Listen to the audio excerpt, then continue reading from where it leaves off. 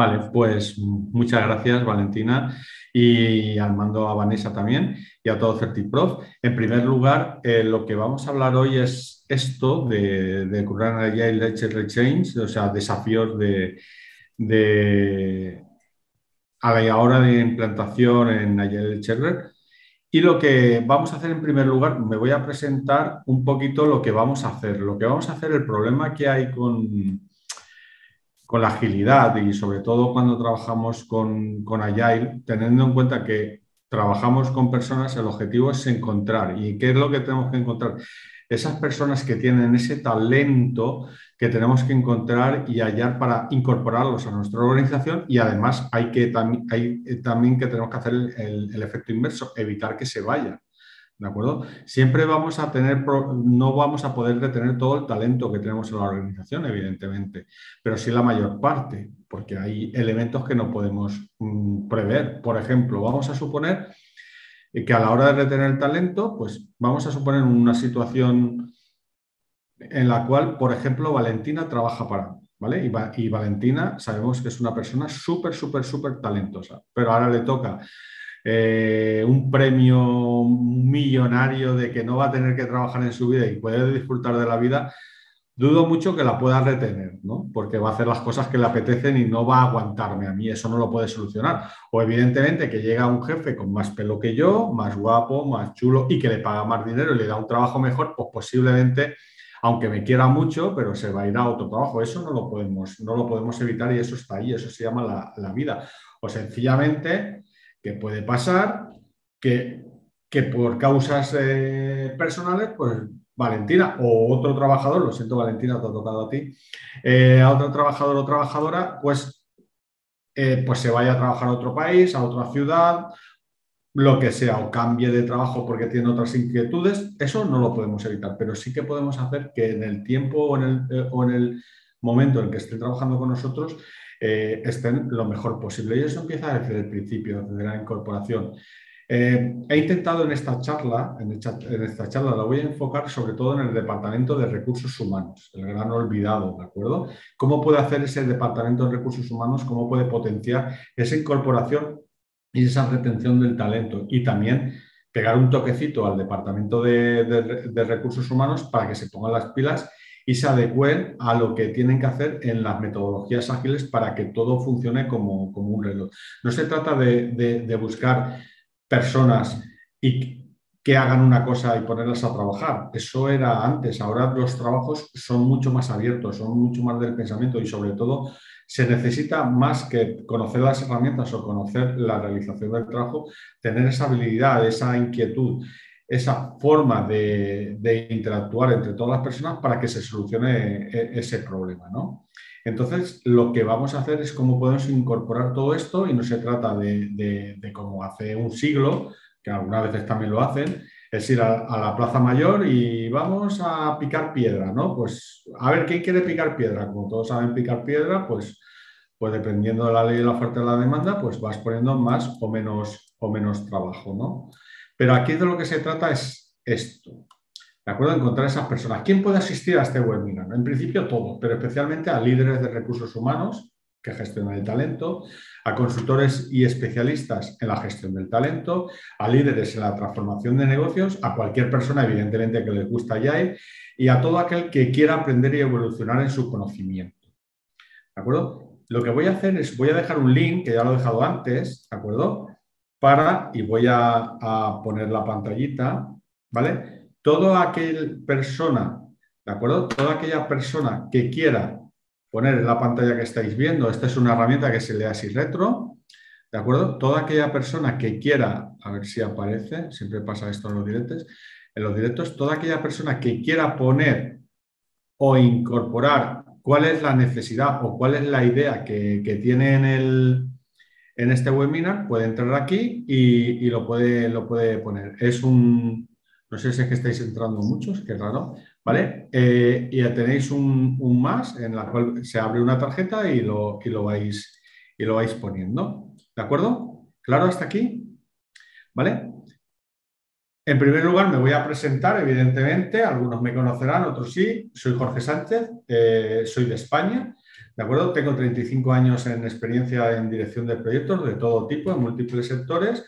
Soy socio director de Moviliza Consulting y Moviliza Academy y nos dedicamos a formación y a mentoring y consultoría. Soy trainer, evidentemente, de CertiPro, de Scrum Manager, de PCB, de PeopleShare, de Arcelos y de European Scrum, entre otras certificadoras.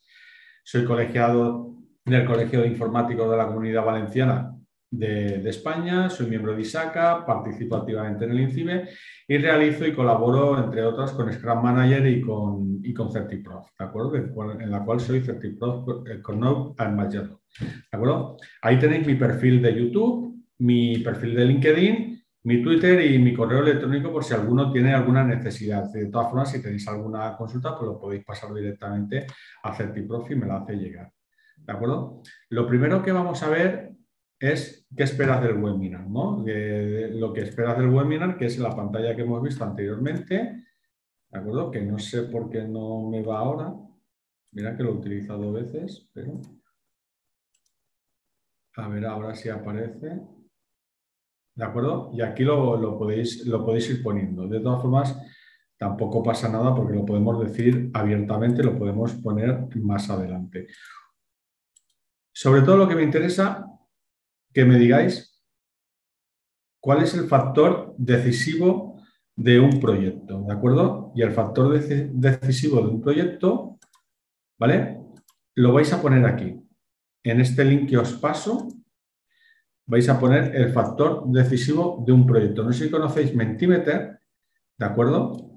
Y aquí en Mentimeter nos van a salir las personas que estáis, que estáis contestando. Podéis ir contestando en Mentimeter, he pasado el link en el chat y podéis ir contestando qué es lo que os parece que es lo más importante, ¿de acuerdo? Lo más determinante en un, proyecto. Os dejo un minuto de, tiempo para que lo hagáis. El código he pasado el link, ¿de acuerdo? El código lo tenéis, lo tenéis aquí. No ven, a ver, os he pasado en el chat, ahí tenéis el código, ¿de acuerdo? Y os he pasado el chat. El código es Menti 94, 85, 67 y 1. También os he pasado un link directo, Adolfo, que lo ha preguntado, en el chat. He pasado en el chat, creo que a todos os llega el chat, ¿no? Os ha llegado a todos el chat, que es menti.com, tres no sé qué, es un chat.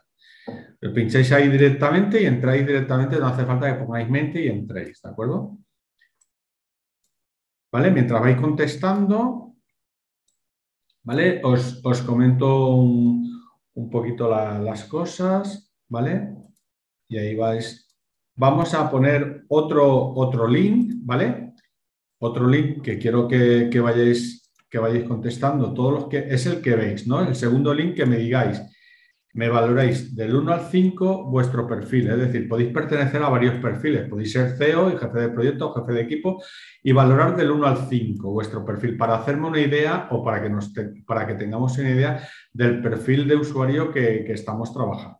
¿De acuerdo? Entonces, ahí podéis poner, hay dos links. Uno que es este que estáis viendo, el factor decisivo en un proyecto con ese código, que es el segundo. Y el último que acabo de poner sería este, que pongáis, ha contestado una, persona eh, aquí, dos personas, y me digáis, tenéis cinco puntos y decir de todos los, los roles que tenéis ahí, ¿de acuerdo? Indicarme eh, cómo repartir los cinco puntos. Podéis tener cuatro puntos de CEO, tres de jefe de proyecto, dos de jefe de equipo, cinco de mando intermedio y vais, y vais valorando mientras tanto. ¿De acuerdo? Mientras estáis valorando el segundo, ¿vale? Vamos a, a ver lo que habéis respondido en qué es lo más importante de, un proyecto. Lo más importante de un proyecto es el resultado, las personas, recursos y tiempo, el alcance cerrado, adaptabilidad, recursos, tiempo ROI, el recurso humano, los objetivos, la definición del alcance, el tiempo. Esto es lo que estáis diciendo como factor decisivo en un proyecto. ¿De acuerdo? Esto es lo que estáis diciendo, lo podéis, lo podéis ir completando. Y el perfil que tenemos hasta ahora vamos a ver el perfil que, estáis, es este perfil. ¿De acuerdo? La media de las personas que estáis contestando, hasta ahora habéis contestado nueve personas. ¿De acuerdo? Habéis contestado nueve personas aquí y diez personas. Este es el perfil que, tenéis, ¿no? Estáis todos, eh, lo que más predomina es jefe de proyecto y jefe de equipo. ¿De acuerdo? Y lo que menos predomina eh, es mando intermedio, ¿vale? y esto es el perfil que tenemos en, en, clase, ¿no? Para lo que tenemos. Factor decisivo en un proyecto. Una persona dice el resultado, ¿vale? El resultado en base a qué? A lo que te dice el cliente o a la resolución de la necesidad del cliente. Otra persona dice los factores más decisivos en un proyecto es las personas, otros recursos y tiempo, es decir, yo tengo recursos y tiempo y, hago cualquier proyecto. El alcance cerrado, es decir, yo tengo que hacer un proyecto, tengo el alcance cerrado y no lo puedo modificar mientras esté haciendo el, proyecto. Otra persona dice lo contrario, adaptabilidad. ¿Vale? Otra persona dice recursos, tiempo y el retorno de la inversión. ¿De acuerdo? Otra persona dice el recurso humano junto eh, y otra persona dice los objetivos. Los objetivos, ¿quién los define? El cliente, el equipo, el jefe de proyecto, la empresa en la que trabajas. Otra persona dice la definición del alcance, hay que tener claro quién define el alcance. Y otra persona dice el tiempo, Aquí esto es muy variopinto, ¿vale? Y no todo tiene por qué ser lo que estáis diciendo. Vamos a ver cómo resolvemos esto, que lo resolveremos al final. Esto queda aquí para que al final del, webinar lo comentemos, ¿vale? Si queréis poner alguna más, pues podéis poner alguna más. Y esto es el resultado final de los perfiles que tenéis. Eh, se ha demostrado que el factor decisivo en un proyecto, sobre todo, son las personas que están incluidas en esta arriesgada misión. De hecho, podemos decir que vamos a tener dos proyectos y vamos a dar un ejemplo deportivo, como puede ser un partido de fútbol. En ambos casos participan 11 jugadores y un equipo cuela más goles que el otro y no los anulan y gana un equipo teniendo los mismos recursos que el otro porque han jugado mejor, han tenido más suerte o sencillamente han, su objetivo es colar más goles que el contrario, ¿vale? Y por lo tanto han ganado el partido. Y esas personas pueden ser que sean más hábiles técnicamente, estén más motivados o estén mejor preparadas para, el partido. Con lo cual, las personas que intervienen en el partido son los que van a hacer que el proyecto salga adelante, independientemente del estado del césped, del balón, de si llueve, si hace frío, si hace calor, todo eso va a hacer posible que el proyecto salga adelante y son las personas que hacen que esto sea posible. El Departamento de Recursos Humanos, en su, en visión de encontrar y fidelizar estas personas, debe incorporar y desarrollar los principios de la agilidad moderna a la gestión del talento humano. ¿Qué quiere decir esto? Tiene que reescribir aplicando las nuevas prácticas basadas en los marcos ágiles para generar esta transformación en la mentalidad de las personas y, como no, en las organizaciones para adaptarse a los nuevos escenarios de negocios actuales. Es decir, que tenemos que replantear lo que hemos dicho antes, el, la mentalidad, el mindset de, los, de las personas que dirigen o que intervienen en la dirección de la decisión de la captación del talento, la captación del personal a la organización, adaptándolos a los negocios actuales y al escenario actual en el cual estamos. Por lo tanto, tenemos que rediseñar la búsqueda del talento y muchas veces tenemos que encontrar algo que no está definido o algo que no existe. Por lo tanto, tenemos que encontrar una persona que se adapte lo más pronto a ese, a ese perfil. De hecho, hay muchas veces que se buscan vacantes que no se encuentran porque no se saben encontrar o se determina que la persona tiene que ser experto en todas esas cosas y a lo mejor no es experto en todas las cosas, sino que tiene predisposición para aprenderlas de forma rápida. ¿De acuerdo?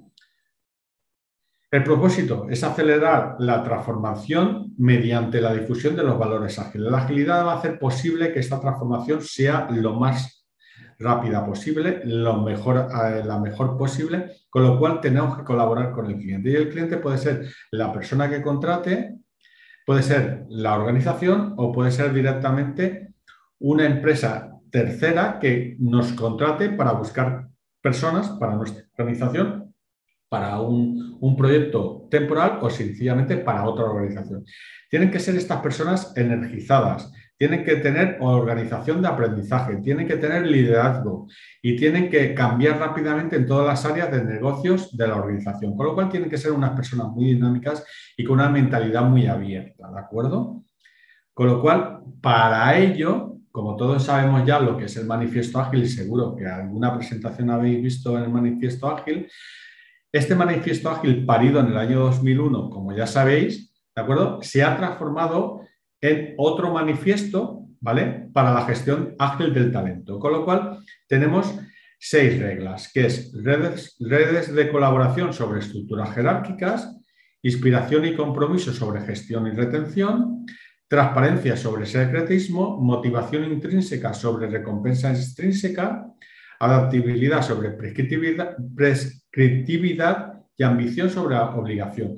Estas son las seis reglas del manifiesto ágil de la gestión del talento. Como podéis ver, el manifiesto ágil se puede adaptar a otros escenarios como pueda ser este. ¿Por qué redes de colaboración? Porque si tenemos un equipo que colabora, ¿de acuerdo? Y, y, es lo más horizontal posible, vamos a tener equipos más potentes y no vamos a depender de decisiones de otras personas que, tienen que tomar decisiones por nosotros y vamos a perder tiempo y van a depender de una persona, de muchas personas, con lo cual la decisión no va a ser la más correcta. Tenemos que tener inspiración y compromiso sobre la gestión y retención del talento en base a opciones que, que no hacen que la persona se involucre. Evidentemente la transparencia es fundamental, la motivación intrínseca, es decir, hacer feliz a la persona en todos los sentidos independientemente de recompensas extrínsecas, como puede ser el dinero o bienes materiales, cuando se, quita ese, ese, bien material, la persona no trabaja, ¿de acuerdo? Adaptabilidad sobre la prescriptibilidad, es decir, que yo me adapto a los cambios, a los nuevos entornos que estamos realizando para trabajar y evitamos que nos digan lo que tenemos que hacer. Pasamos de ser operarios ¿de acuerdo? A ser artesanos del conocimiento, a trabajar con el conocimiento y a ayudar y a, hacer todo esto posible. Y sobre todo tenemos que tener una obligación, una ambición sana, ¿de acuerdo? De crecer, de abarcar y de realizar el trabajo frente a una obligación. Tenemos que ir a trabajar, no a calentar las sillas, sino a echar unas horas, sino a producir. ¿De acuerdo? Con lo cual todo esto se tiene que, combinar a la hora de, tener estos resultados tan positivos que, vamos a intentar solucionar. ¿De acuerdo? Evidentemente, tenemos que, ver qué ha pasado con la metodología o el método tradicional o con los, en los frameworks ágiles. ¿no? Por ejemplo, el enfoque del gerente no está en la gestión de proyectos y recursos. En, la agilidad, los equipos son autoorganizados. El método tradicional, los requisitos están escritos en su totalidad al inicio del proyecto y una vez que están escritos no se pueden modificar. En los frameworks ágiles los requisitos cambian constantemente, es decir, que yo puedo cambiar los requisitos del proyecto o las características del proyecto dependiendo del escenario o, lo que yo voy a hacer. Es decir, si yo voy a hacer un proyecto y tiene que estar cerrado y no lo puede cambiar, imaginar que antes de la pandemia, eh, pues hemos comprado durante un año, ¿vale? Una plaza para hacer fiestas o para hacer cosas al aire, libre para que todas las personas puedan disfrutar durante el primer año de la pandemia, eso, eso no puede ser, no, va a ir nadie, eso, eso, eso no, va a no va a dar lugar a ningún fruto, con lo cual podemos cambiarlo. Porque el escenario y el ambiente en el que estamos moviendo va cambiando.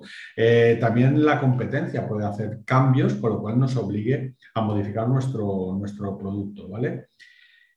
En el método tradicional los requisitos se priorizan por dependencia entre ellos, es decir, como ya tengo definidos todos los proyectos, lo que voy a hacer es priorizarlo dependiendo de la, la, dependencia para que me cueste lo menos hacerlo, porque tengo claro lo que tengo que hacer. En los frameworks ágiles los requisitos se priorizan por el valor que aportan al negocio, dependiendo del valor que aportan en, ese momento, en un momento dado en el negocio, se van, eh, se van creando, porque además las entregas en agilidad son iterativas, se van entregando poco a poco. En la metodología tradicional, el estado del proyecto se mide por el porcentaje de finalización, ¿de acuerdo? En los frameworks ágiles el proyecto se mide en términos de funcionalidad entregada, no por el, sino lo que hemos entregado que funciona, no lo que nos falta por hacer.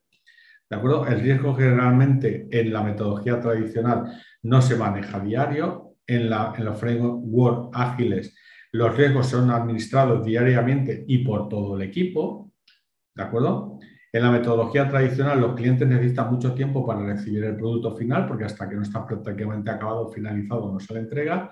Y en los frameworks ágiles al principio del proyecto el cliente puede obtener partes o entregas del trabajo con entregas incrementales, sobre todo si trabajamos con con metodologías iterativas como puede ser Scrum. ¿De acuerdo? En la metodología tradicional el cliente no interactúa durante el proceso. En los frameworks ágiles los cambios del proyecto son bienvenidos y aceptados. ¿De acuerdo? Con lo cual, si vemos, la parte de la izquierda, estamos realizando un proyecto. Estamos realizando un encargo. Y en la parte de la derecha estamos realizando un proyecto, algo que no se ha definido previamente con exactitud y que puede cambiar. ¿De acuerdo? Por lo tanto, en la metodología tradicional lo que estamos haciendo es un encargo. Nos dicen lo que tenemos que hacer, exactamente lo que tenemos que hacer y cómo lo tenemos que hacer y cuánto lo tenemos que hacer. Y en los, en los framework ágiles lo que tenemos que hacer es de resolver una necesidad con unas directrices que pueden cambiar durante el proceso y que tenemos que dar el mayor valor posible y cuanto antes. Con lo cual estamos trabajando desde dos puntos de vista. Si estáis trabajando con un entorno estático que no va a cambiar a lo largo del tiempo, ¿de acuerdo? Pues trabajar con, metodologías tradicionales. Ahora bien, si estáis trabajando en un entorno que cambia y evoluciona con el tiempo y estáis en un mercado, en un, mercado dinámico, que, que los negocios están cambiando rápidamente, pues tenéis que trabajar con framework ágiles, ¿de acuerdo? Evidentemente, Aquí ya tenemos una diferencia del pensamiento entre el enfoque Agile y el enfoque de Waterfall, ¿de acuerdo? Evidentemente el enfoque de Agile es basado en las personas, que es lo que os pedía antes, en Waterfall en procesos. ¿Por qué? Porque en procesos es algo que se ha realizado antes y un proceso lo tengo que seguir al pie de la letra para obtener el resultado. ¿De acuerdo? En, en Agile la documentación es mínima, la requerida, eso no quiere decir que no haya documentación, ojo, ¿vale? En Waterfall la documentación es extensa y tiene que estar creada desde el principio. El estilo de los, de los procesos en Agile, si trabajamos con metodologías iterativas, como Scrum es iterativo, en Waterfall es lineal, ¿de acuerdo? Seguido en procesos, aunque también se puede trabajar con metodología lineal, pero de forma ágil, ¿de acuerdo? Con Kanban y con Lean, ¿de acuerdo? Sobre todo la mejora de la mejora continua y la forma de trabajar con ese procedimiento lineal, sobre todo si está alineado y en base a las personas. La planificación por adelantado en Agile es baja, en Waterfall es alta, con lo cual un cambio en Waterfall es muy, muy, muy difícil de realizar, en Agile prácticamente igual. La priorización de los requisitos en Agile se, se conforma al valor del negocio del cliente y en Waterfall conforme al plan de negocio. El aseguramiento de la calidad en Agile está centrado en el cliente y en el Waterfall centrada en el proceso. En la organización en Agile es autoorganizada y en el Waterfall es gestionada. El estilo de la gestión en Agile es descentralizado y en Waterfall es descentralizado. El cambio está basado en las prioridades del backlog en, en y en Waterfall es un sistema formal de gestión del cambio. El liderazgo en Agile es colaborativo, el liderazgo servicial y el Waterfall es mando y control, Master and Commander. La medición del rendimiento en Agile es valor entregado del negocio y el Waterfall es al fin del proyecto. Y el retorno de la inversión, ¿de acuerdo? En Agile empieza desde el principio de, la creación del proyecto a lo largo del proyecto y el Waterfall varía, varía en función del ciclo de vida del proyecto y, y muchas veces hasta el final del tiempo de ciclo no se entrega, entrega ese, ese, valor, no se retiene la inversión. Por lo tanto, si tenemos una inversión o un proyecto de varios años, hasta dentro de varios años no vamos a obtener ningún resultado. ¿De acuerdo? Vamos a dar, llegado a este punto, vamos a dar un par de definiciones de, agilidad ¿no? para, para centrarnos en el tema. En primer lugar, tenemos que tener en cuenta que la agilidad es la capacidad de crear y responder al cambio con el fin de obtener ganancias en un entorno empresarial turbulento. Eso es lo que es eh, agilidad, obtener ganancias en un entorno turbulento. ¿De acuerdo? Y también puede ser la capacidad de equilibrar la flexibilidad y la estabilidad. ¿Qué quiere decir la flexibilidad? La flexibilidad en adaptarme a los cambios que se producen en el mercado y la estabilidad de que mi organización sea capaz de realizar estos cambios. Con lo cual, estos serían los conceptos de la agilidad. Flexible pero estable, ¿de acuerdo? Y obtener ganancias frente en un entorno empresarial turbulento. No grandes ganancias, sino obtener ganancias. ¿De acuerdo? Vamos a ver que hay más de 40 variantes diferentes de allá y por lo tanto explicar esto es relativamente muy difícil. Allí vemos 40 métodos distintos de agilidad. ¿De acuerdo? Con lo cual, ¿cuál aplicamos? Aplicamos Drive, Management 3.0, aplicamos Lex, aplicamos Next, aplicamos Safe, aplicamos Lean Startup, aplicamos Personal Kanban, aplicamos Kanban, aplicamos Scrum, aplicamos eh, DevOps, aplicamos eh, TDD, aplicamos XP, eh, aplicamos Crystal, FDD, DSDM, ASDD. ¿De acuerdo? Es decir, hay un montón de metodologías y de framework y en la cual a la hora de, aplicarlo no sabemos cuál, cuál utilizar, ¿no? ¿no? No sabemos cuál utilizar. Evidentemente, lo que te trata, eh, tenemos claro que llegado a este punto, ser ágil no es seguir un proceso. Si llegado a este punto pensáis que la agilidad es dar una receta para que seáis ágiles, no existe. No existe. Eso es la metodología predictiva. Si queréis realizar algo que ya se ha realizado anteriormente, pues, pues podéis ir a pedir un lugar de trabajo en una máquina, en, una factoría de, de, producción, apretando tornillos, como en la famosa película de Charlie Chaplin al principio del siglo XX, ¿no? ¿Vale? Pero tened en cuenta que si hacéis eso, tarde o temprano, más bien temprano que tarde, un robot va a hacer vuestro trabajo. ¿Vale? Porque el proceso está definido. Nos tenemos que adaptar a los cambios rápidamente. Tenemos que tener una mentalidad ágil, que son las combinaciones de acciones y comportamientos que dan como resultado la cultura ágil. Llegado a este punto, estamos empezando a pensar que la agilidad tiene algo que ver con el cambio de mentalidad, con el cambio cultural, con el cambio de ser. ¿Puede llegar a ser una filosofía? Pues muchas veces es planteado así, teniendo en cuenta que la agilidad viene del, mundo Toyota, del TPS de Toyota y viene del, mercado o, de la filosofía japonesa, ¿no? que, es una mentalidad basado, basado en, un cambio cultural. ¿no? Por lo tanto, es un tema prácticamente cambio cultural rozando la filosofía. Es una forma de hacer las cosas, una forma de, de organizarse. ¿no? Es una forma de un cambio en la forma de trabajar basados en planes lineales hacia un enfoque adaptativo. Es decir, que nos tenemos que ir adaptando poco a poco a estos cambios de forma constante y paulatina, ¿vale? Para obtener estos, estos enfoques. Por lo tanto, tenemos que orientar a entrega valor temprana y centrado en el cliente. Por lo tanto, tenemos que resolver una necesidad lo más pronto posible dándole valor al cliente e intentando iterar y darle la solución cada vez mejor, haciendo a la vez mejora continua. ¿Qué es lo que se trata? Es obtener que el cliente interactúe con nosotros y conjuntamente vayamos a resolver el problema de forma iterativa y de forma progresiva. ¿De acuerdo? Evidentemente, allá he llegado a este punto, os habréis dado cuenta que es un movimiento global. De hecho, estoy seguro que aquí somos personas de varios países, con lo cual esto a nivel mundial se está estandarizando. ¿Por qué? Porque el mercado es global. Con lo cual, tenemos que participar todos en esto. Ayer es un vasto movimiento global que está transformando el mundo en del trabajo. El movimiento despegó, como he dicho antes, con el, con el manifiesto allá en el año 2001 y ahora se está extendiendo rápidamente a todas las partes y a todo tipo de organización. Fijaros en el 2021. Con esto ya llevamos 20 años con la agilidad. No es un movimiento, una moda pasajera. ¿De acuerdo? Es una moda que, que está aquí y que, sea que, que ha llegado para quedarse. De hecho, en agilidad estamos ya en la tercera ola de la agilidad.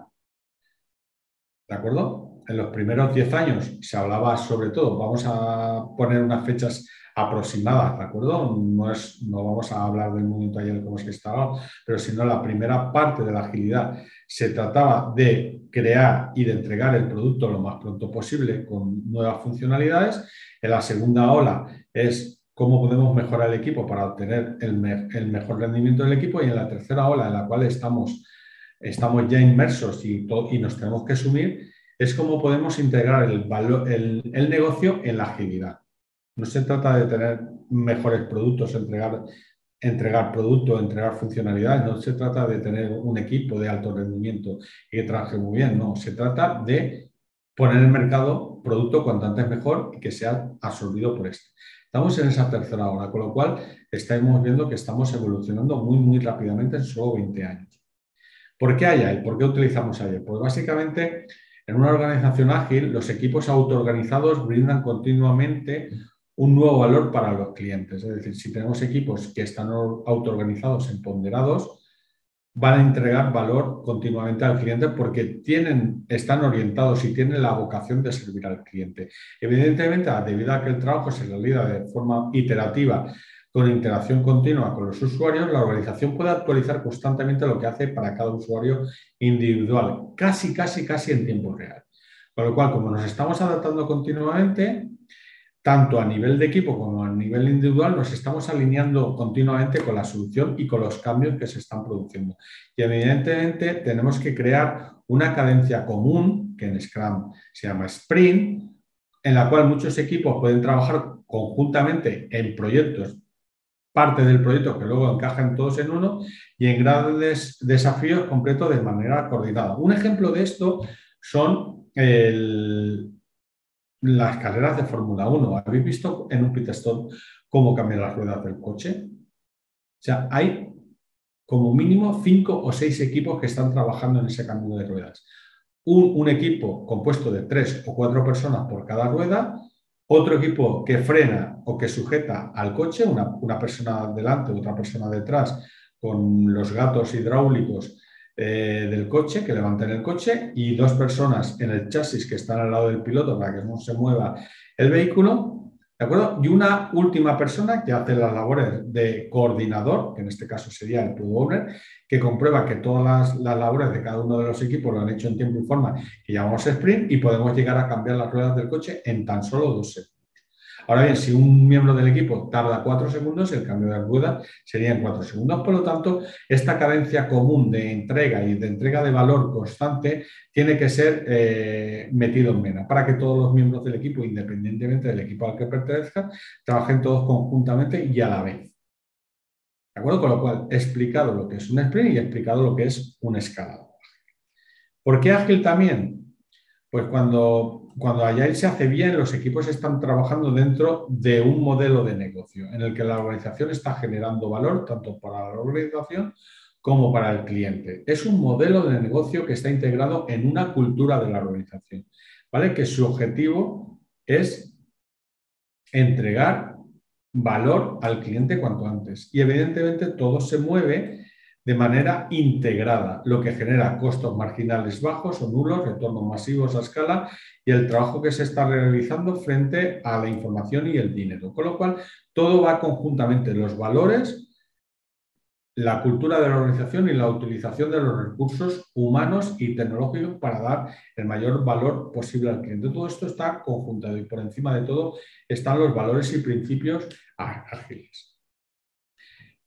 Evidentemente, ágil se trata de trabajar de forma más inteligente en lugar de trabajar de forma más duro.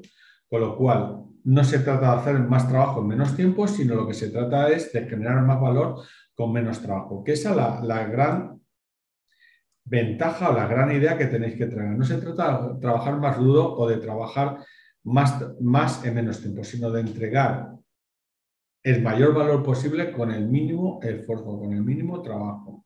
Con lo cual, aquí se trata de utilizar los recursos y de mejorar la entrega continua de valor. ¿De acuerdo?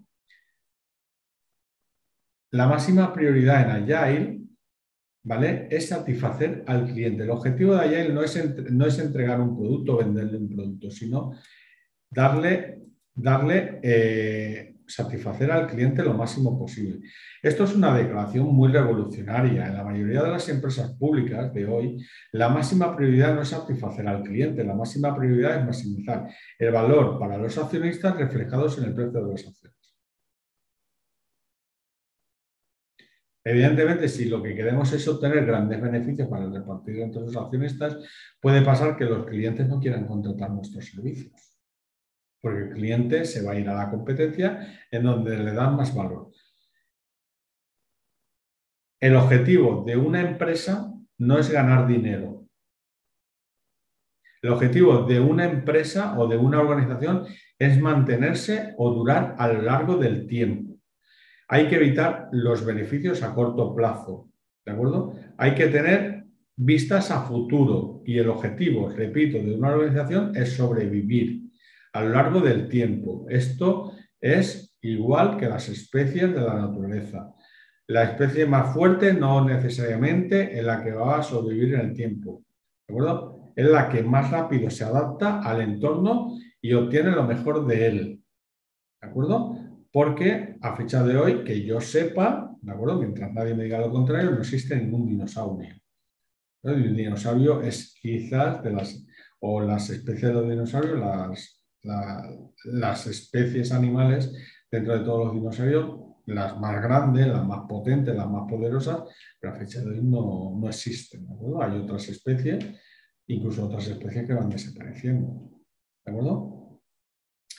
Tenemos que tener claro que el valor y el esfuerzo, y voy a tomar eh, lo que decía Pía, lo que dice Peña María, ¿de acuerdo? Hay que tener que realizar, hay que tener una correlación entre valor y esfuerzo. Para ello lo que tenemos que tener en cuenta son, si confiamos en alguien, ¿Por qué le obligamos a hacer informes detallados? Si sabemos que lo hace bien, pues lo hace bien. Confianza plena.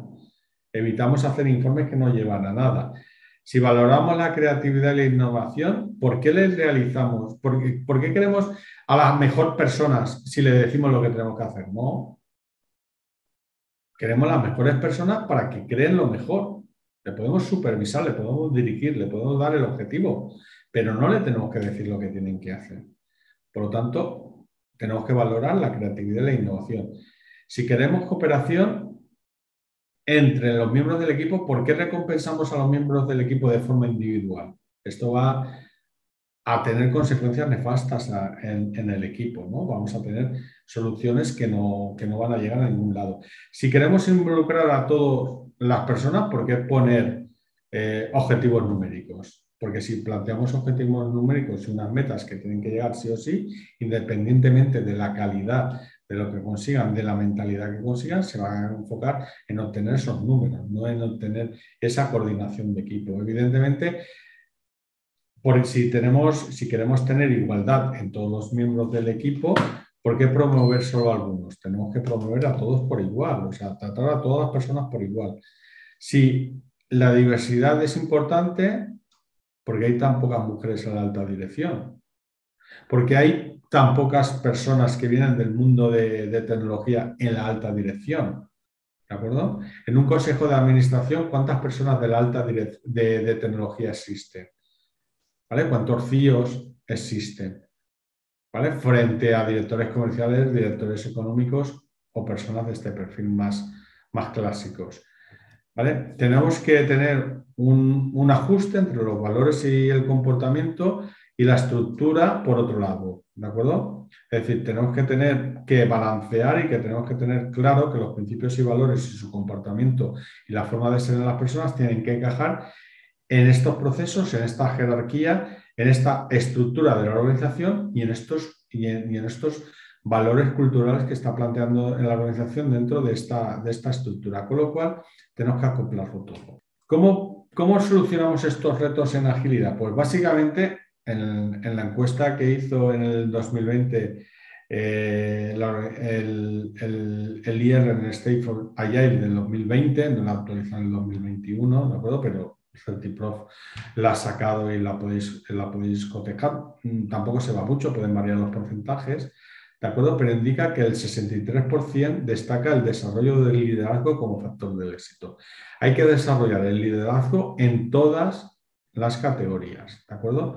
Y fijaros el segundo, la atracción del talento top, que realmente eso está predestinado a ser líder, ¿de acuerdo? Creamos Scrum para, para los departamentos de, recursos humanos o para HR Agile, ¿de acuerdo? Lo que tenemos que tener claro, hay que tener mayor integración, colaboración y adaptación, y adaptación de todas las áreas de la nómina, el desarrollo profesional, reclutamiento y selección, la comunicación efectiva en todo el equipo, el mejor rendimiento y motivación en el equipo de trabajo, mayor organización y transparencia de las actividades, visibilidad de las actividades que cada integrante del área está realizando. ¿vale? Al tener una retroalimentación constante se pueden mejorar los procesos de reclutamiento y selección, pues fomentamos la empatía, la adaptabilidad y el crecimiento del área y por último la integración de herramientas nos permite una mejor visibilidad organizacional utilizando tableros Kanban. ¿De acuerdo? Fijaros que esto es lo mismo, lo mismo que Scrum, pero adaptado a los departamentos de, de recursos humanos.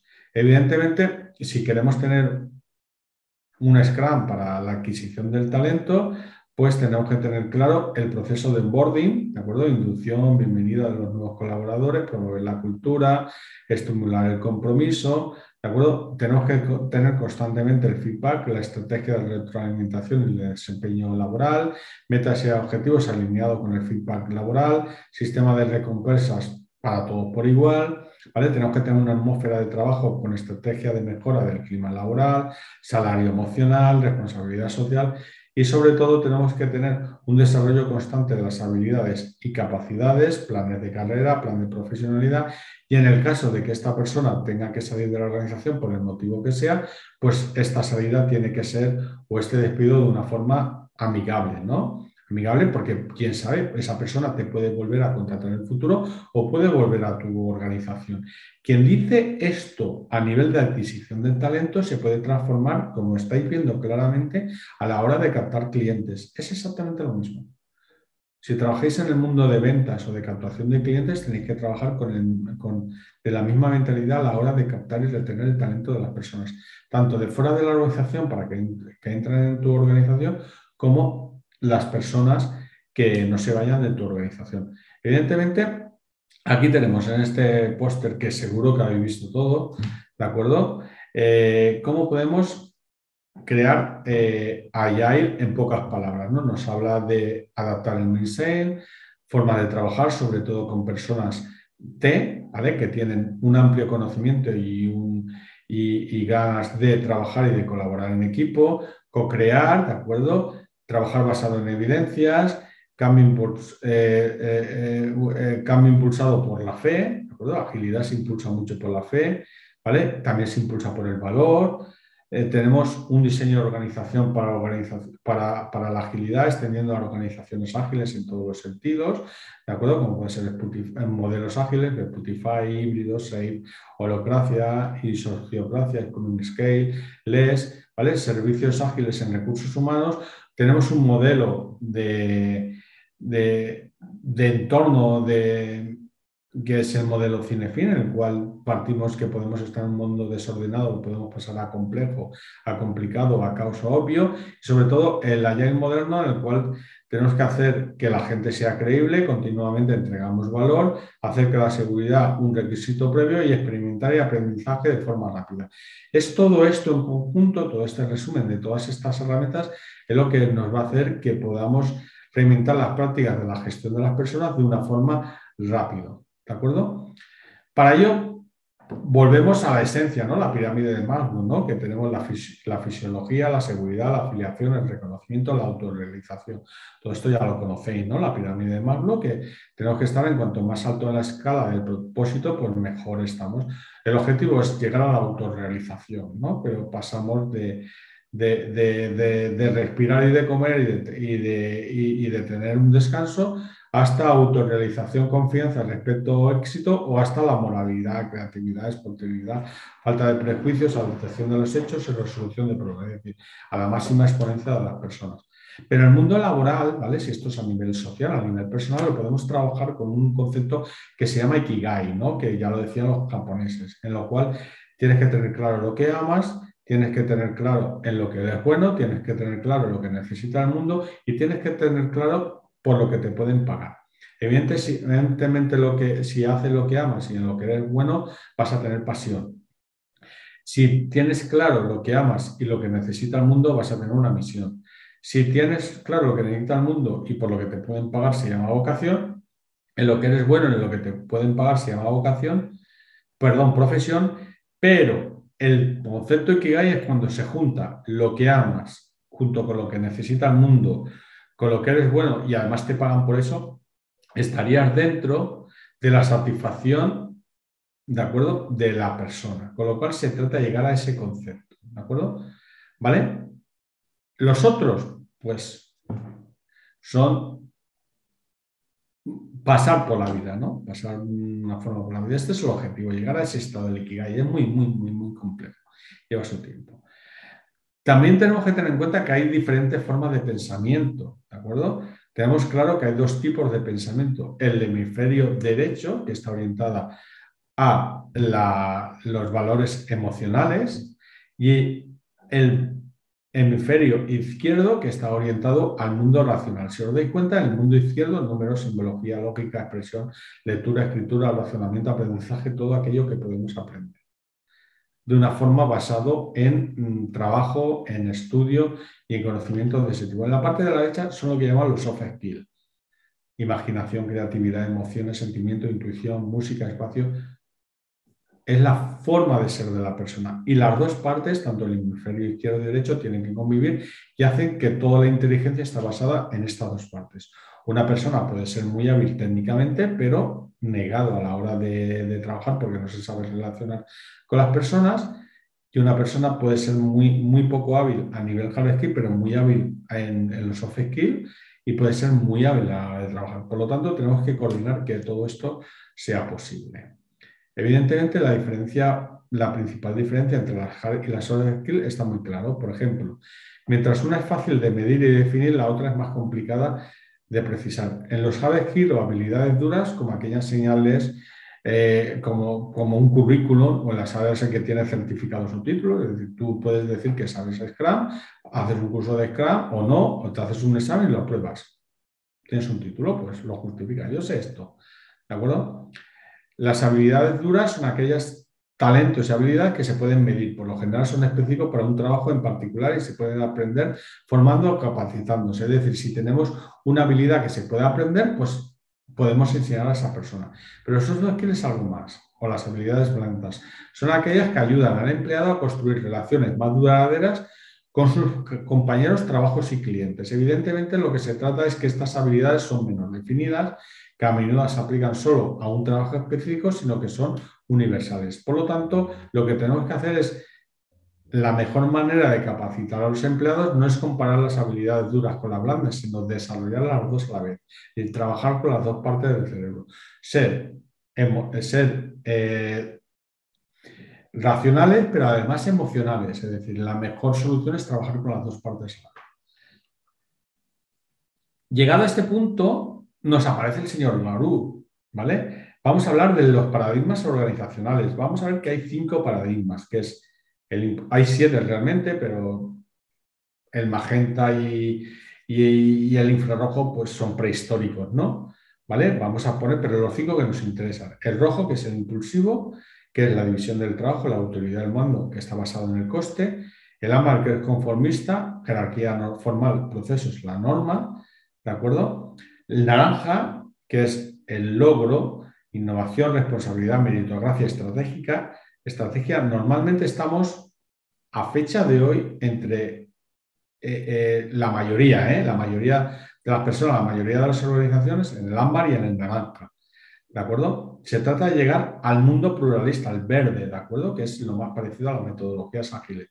El empoderamiento, la cultura de valores, el grupo de interés, estamos hablando de cultura, pasamos de estrategia a cultura. Y el evolutivo, pues es la autogestión, la plenitud integral, eso vamos más allá de la agilidad, ¿no? Vamos, como hemos avanzado antes, al último nivel de, de, la pirámide de Maslow. Si os dais cuenta, esto coincide directamente con la pirámide de Maslow que hemos visto anteriormente.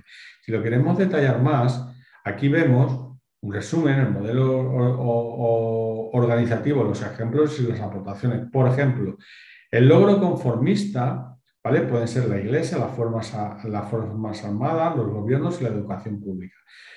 El, el mundo del logro, el mundo naranja, estamos hablando de multinacionales de las empresas tradicionales y la educación privada, el modelo que hay. El modelo pluralista son las organizaciones hábiles ¿vale? Y el mundo evolutivo TIL son las holocracias, que a la cual estamos lo que hemos dicho antes, ¿vale? Con lo cual estamos trabajando normalmente en el entorno entre ámbar y, naranja. Tenemos que pasar al modelo pluralista, que está focalizado en el empoderamiento y la motivación en las personas y son modelos organizativos híbridos. ¿De acuerdo? Con la cual empoderamos a las personas, los valores culturales y los modelos del grupo de interés. ¿De acuerdo? Sería pasar a ese modelo que está muy bien, ¿eh? que, casi nadie ha llegado. El evolutivo ya es la repera, ¿no? Pero es llegar a eso, ¿de acuerdo? ¿Vale?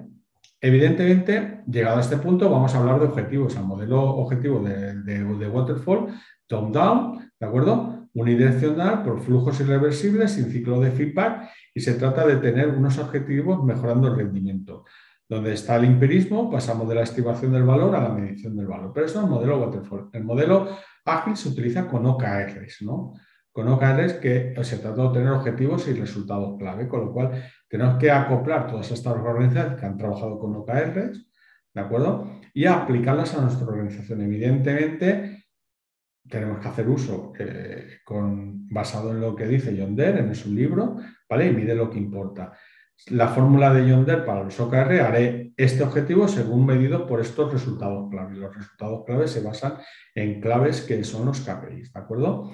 Tenemos que salir a tener compromisos OKRs ambiciosos e, ambiciosos e incomodantes, tenemos que salir de la seguridad psicológica, de la zona de apatía o de la zona de confort, ¿vale? Y de la zona de la ansiedad, de la presión por desempeño, es decir, podemos tener una seguridad, poca seguridad psicológica pero muy presionado, pasamos de la, de la apatía a la zona de ansiedad, pero si tenemos seguridad psicológica y poco presionados, estamos en una zona de confort, pero si estamos en un mundo coordinado entre seguridad psicológica y, presión del desempeño, estamos trabajando en una zona de aprendizaje, en autonomía, maestría y propósito, que es de donde se trata de, de conseguir el mundo de los OKR acuerdo?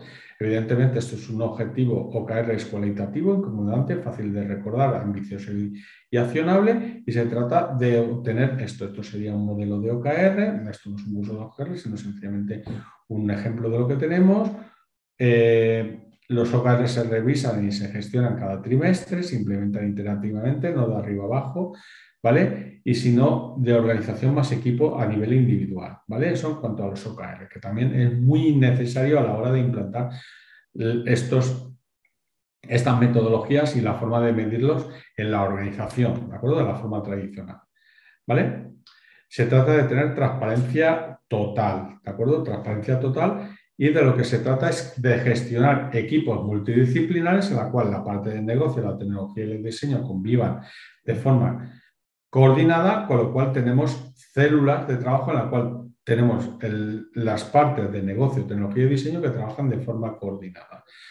¿Cómo formo el equipo? Pues seleccionando el talento. Si lo tengo internamente en la empresa, porque muchas veces está, es ver que lo tengo, saber qué habilidades tiene, identificarlo y sobre todo poner en el, foco en el upskilling, es decir, en la promoción de estas personas, de este talento dentro de la organización. Si no lo tengo, lo tengo que buscar fuera.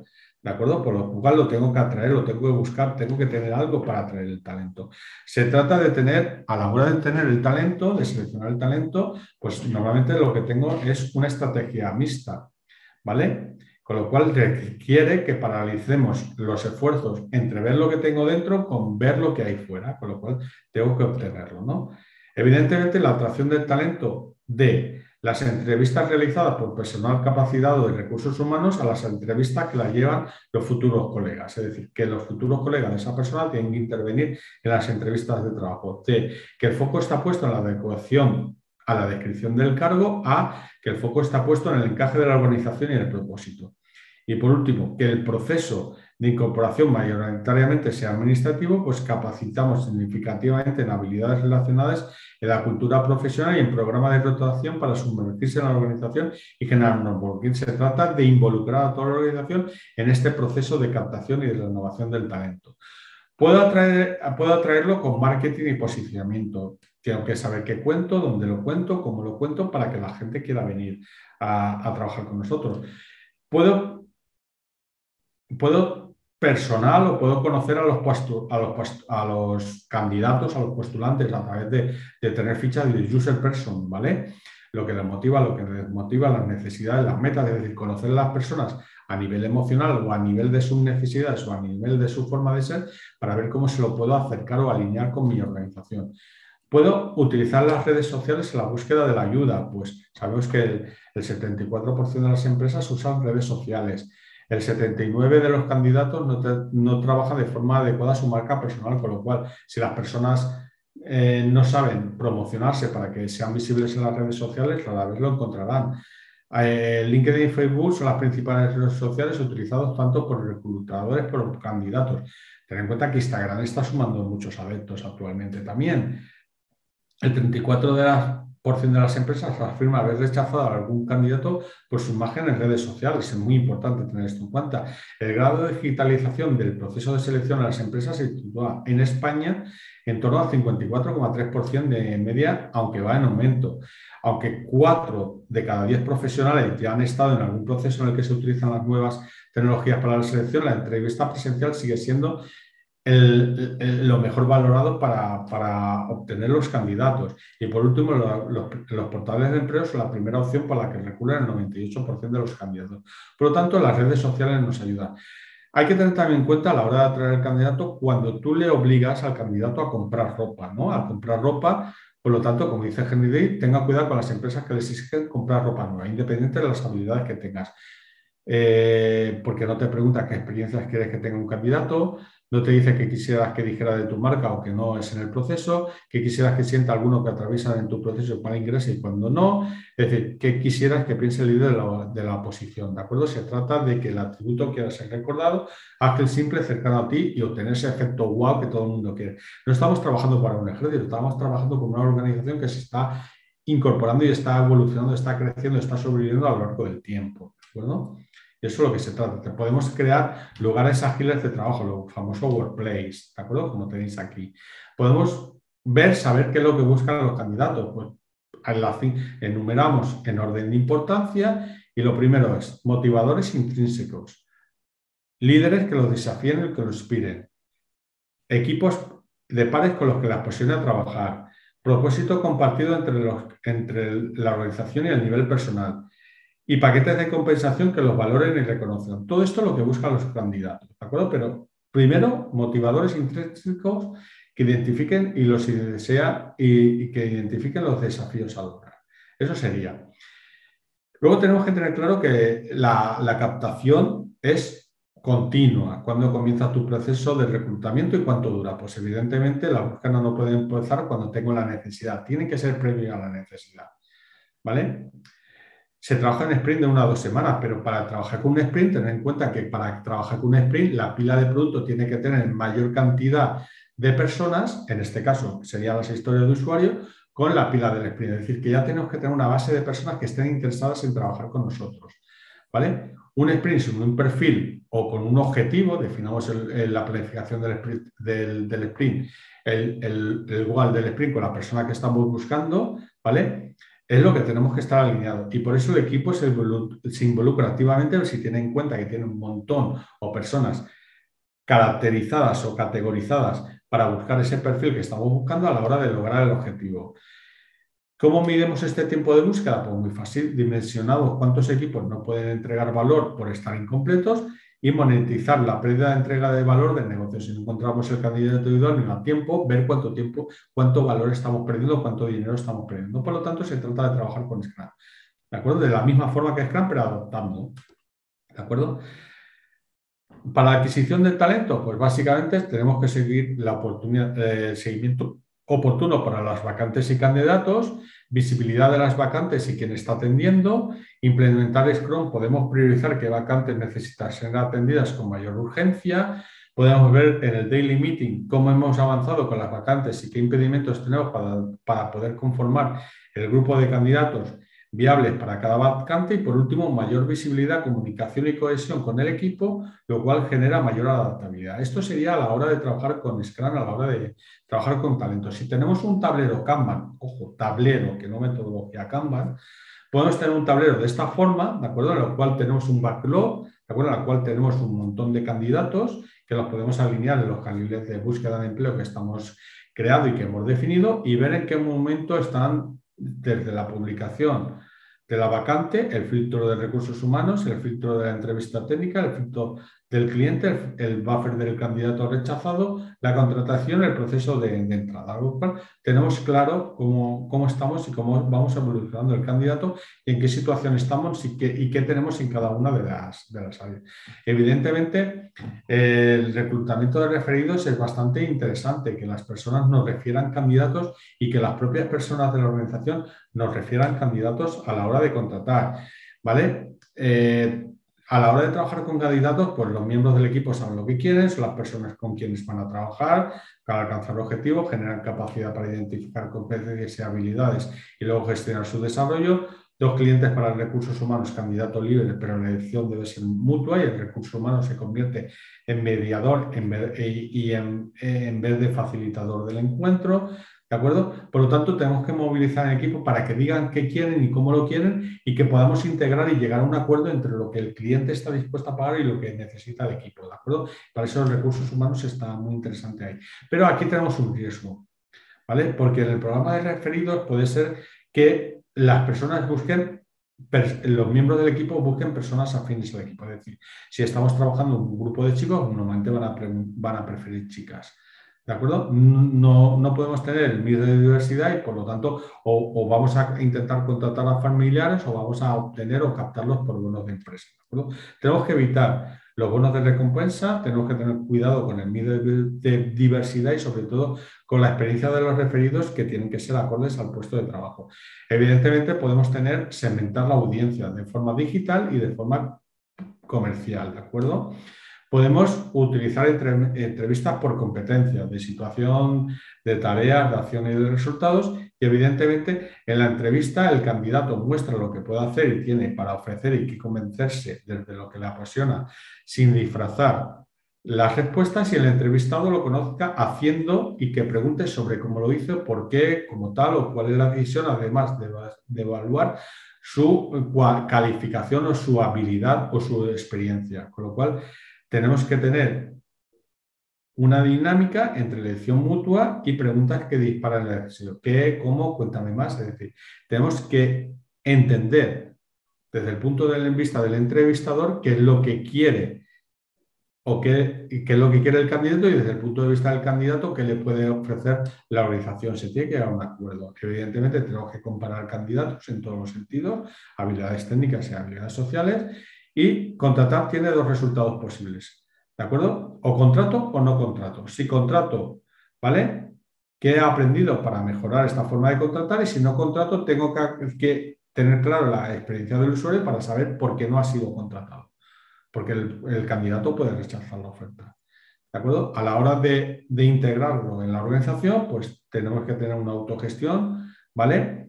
A nivel global, tiene que ser gamificado, automatizado y personalizado, tiene que haber unas lecciones básicas a la persona, tenemos que tener claro el propósito de la compañía y tenemos claro que tenemos que tener unas pasantías o tour por áreas para saber qué es lo que hace cada área. Y por último, es asignarle un mentor que le ayude a integrarse rápidamente en la organización. Evidentemente tenemos que formar y desarrollar continuamente a las personas para que vayan, vayan adquiriendo más habilidades. Hay habilidades que se pueden aprender y otras que no. Y por último, tenemos que tener claro, con esto estamos acabando, ¿vale? Cuando hablamos de desarrollo tradicional y desarrollo ágil, ¿vale? Estamos hablando de dos formas diferentes de trabajar. Ayer hablamos de plan de carrera, ¿vale? Con jerarquía, un título lo más importante y solo cuenta el crecimiento vertical. Y ahora lo que hacemos es lo que realmente lo que, eh, lo que generamos y lo que aportamos, ¿de acuerdo? Por lo tanto, una persona de reciente incorporación puede tener mayor jerarquía eh, o mayor poder dentro de la organización porque genera más valor, va, a ser premiado en cuanto al valor, no al tiempo que lleva. Podemos tener una matriz de especialización por persona, tenemos que tener una matriz de competencia de equipos, ¿de acuerdo?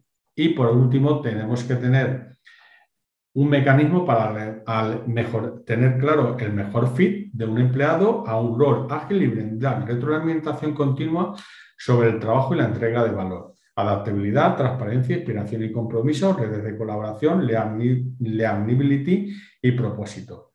Tener en cuenta que hoy el talento ágil sale volando de tu organización si no eres capaz de retenerlo. Y dicho esto, pues finalizamos la charla.